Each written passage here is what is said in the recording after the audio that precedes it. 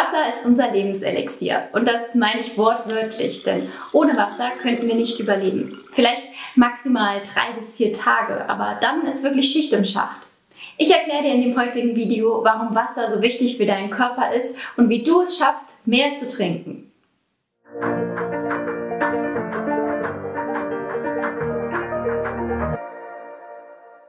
Der durchschnittliche Wassergehalt im menschlichen Körper liegt ungefähr bei 65 Prozent. Das heißt, bei einem 70 Kilo schweren Mann sind das ungefähr 45 Liter. Eine ganz schöne Menge. Dieser Gesamtwassergehalt, der kann aber variieren und hängt von unterschiedlichen Faktoren ab. Männer haben einen Wassergehalt von ungefähr 50 bis 60 Prozent, Frauen sogar etwas weniger, weil wir mehr Fettgewebe haben. Und Babys können sogar einen Wassergehalt von bis zu 78 Prozent haben. Und unser Gehirn besteht sogar aus 80% Wasser, weshalb es so besonders empfindlich ist. Aber welche Rolle spielt Wasser jetzt eigentlich in unserem Körper und was ist die Funktion? Wasser spielt eine essentielle Rolle bei unserem Stoffwechsel. Das heißt bei allen Prozessen, wo etwas hin oder weg transportiert wird. Zum Beispiel der Transport von Sauerstoff oder auch Nährstoffe, aber auch der Abtransport von zum Beispiel Giftstoffen aus deinem Körper. Außerdem ist Wasser noch sehr wichtig für die Regulation von unserer Körpertemperatur. Ohne Wasser könnten wir nicht richtig schwitzen und auch für die Erneuerung von Zellen und noch viele weitere Funktionen. Was passiert aber nun, wenn wir nicht genug trinken und dem Körper nicht genug Wasser hinzufügen? Naja, ich glaube, wir kennen das alle, wenn man mal einen ganzen Tag irgendwie vergessen hat, was zu trinken, dann hat man meistens am Ende des Tages Kopfschmerzen und ein starkes Durstgefühl. Das sind so die ersten Symptome. Es kann auch sein, dass du vielleicht Schwindel bekommst, wenn du nicht genug getrunken hast. Und gerade bei älteren Leuten kann das zu einem richtigen Problem werden. Denn Schwindel endet oft in Stürzen und gerade in einem hohen Alter ist so ein Sturz echt nicht ohne. Wenn man dann ins Krankenhaus kommt und sich vielleicht sogar was gebrochen hat, kann das böse enden. Wenn du nicht genug getrunken hast, kann es zum Beispiel auch sein, dass du Konzentrationsschwierigkeiten bekommst und dich nicht mehr richtig fokussieren kannst und einfach so ein bisschen neben der Spur bist. Und wenn du längere Zeit zu wenig trinkst, dann kann es auch zu Verdauungsproblemen kommen, wie zum Beispiel Verstopfungen. Wenn man zu wenig getrunken hat und zu wenig Wasser im Körper hat, dann spricht man auch von einer Dehydration. Und das führt dazu, dass sich die Fließgeschwindigkeit von deinem Blut reduziert. Und daraus resultiert, dass zum Beispiel Giftstoffe nicht mehr richtig abtransportiert werden können. Eine starke Dehydration führt außerdem auch zu einem Delir. Das ist wie so eine Art Verwirrtheitszustand. Und wenn dies häufiger vorkommt, dann kann es sogar zu einer späteren Demenz kommen. Und davon sind häufig ältere Menschen betroffen, denn diese vergessen vielleicht häufiger mal was zu trinken oder nehmen vielleicht sogar noch Medikamente für ihren Blutdruck zum Beispiel, sogenannte Diuretika, die den Körper zusätzlich auch noch entwässern. Und nicht nur die Menschen, die Diuretika einnehmen, verlieren über den Tag Wasser, auch wir gesunden Menschen verlieren zum Beispiel sehr viel Wasser über die Verdunstung. Das heißt, alleine über deinen Atem verlierst du Wasser oder auch natürlich über deinen Schweiß. Und genauso verlierst du auch relativ viel Wasser, natürlich beim Urinieren, aber auch bei deinem Stuhlgang, was man vielleicht gar nicht unbedingt denkt.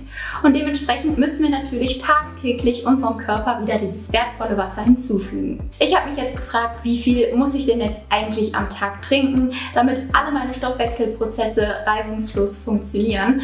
Und da dachte ich mir, da kann ich mich doch eigentlich bestimmt auf mein Durstgefühl verlassen.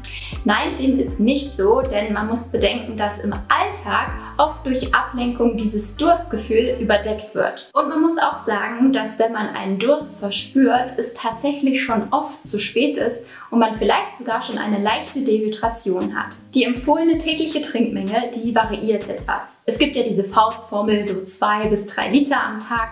Das ist auch ganz gut, daran kann man sich richten. Oder auch die Rechnung, dass man 30 bis 35 Milliliter pro Kilogramm Körpergewicht trinkt. Und das wären bei mir ungefähr zwei Liter, also passt ganz gut in diese Faustformel.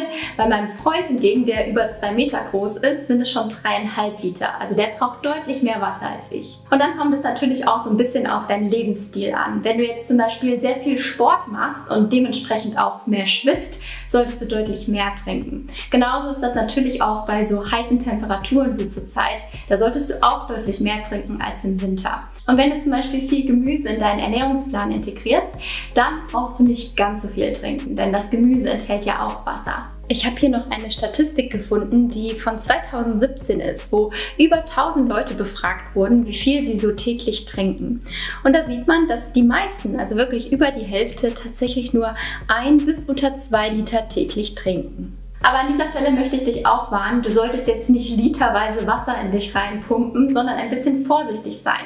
Zu viel Wasser kann auch dazu führen, dass deine Salze ausgeschwemmt werden und dann müsstest du auch ins Krankenhaus. Also damit ist auch nicht zu spaßen. Du solltest jetzt nicht täglich 6, 7 Liter Wasser trinken. Um zu prüfen, ob du wirklich genug trinkst, könntest du dir zum Beispiel mal deinen Urin anschauen.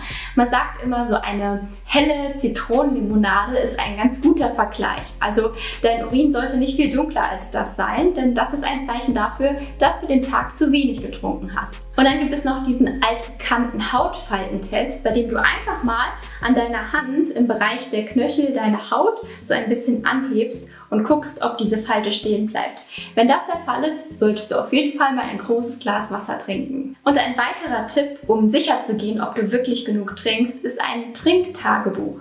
Und da trägst du wirklich mal über ein paar Tage ein, wie viel Gläser Wasser du tagtäglich trinkst.